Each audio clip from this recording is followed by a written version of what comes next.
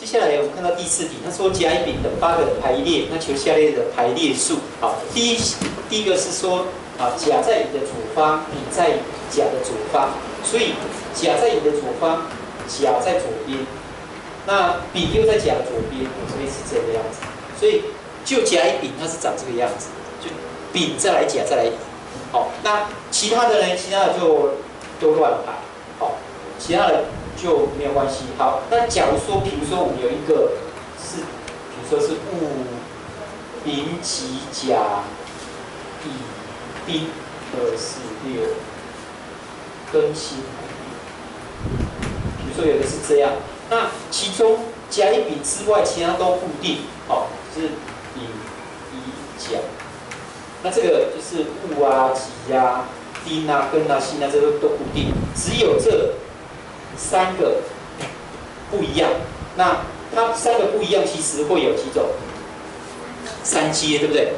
但是这每每一种，它考虑甲乙丙的排列就有三阶种，就有其他的就没有甲乙丙的都固定。这样子的话，就有三阶种，就是六种，每六种一组，这六种一组只有一个是对的，这个是对的。丙甲乙这个是对的，丙乙甲就错了，乙甲丙。甲丙乙，甲乙丙，这些都是错。这六个里面，每六个只有一个是对的。这其其他人在排，可能排 B 的位置，但是每六个六个一组，每六个就一个是对的。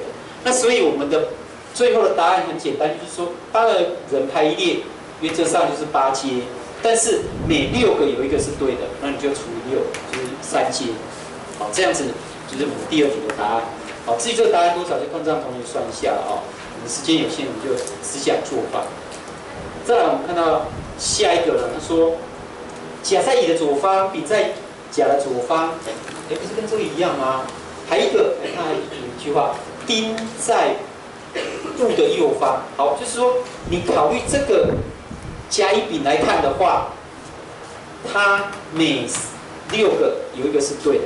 但是如果你考虑丁跟戊，好，其他都不看，只看丁跟戊的话，这个丁跟戊它可以戊跟丁，戊丁丁戊，好，那其他的它都固定，每两个每两个一组，每两个一组，两个两个一组的话，丁在，哦，不是戊而已，戊己，抱歉，所以是丁戊己，好，呃，这个是丁跟戊而已，没有错，这是下一个了啊。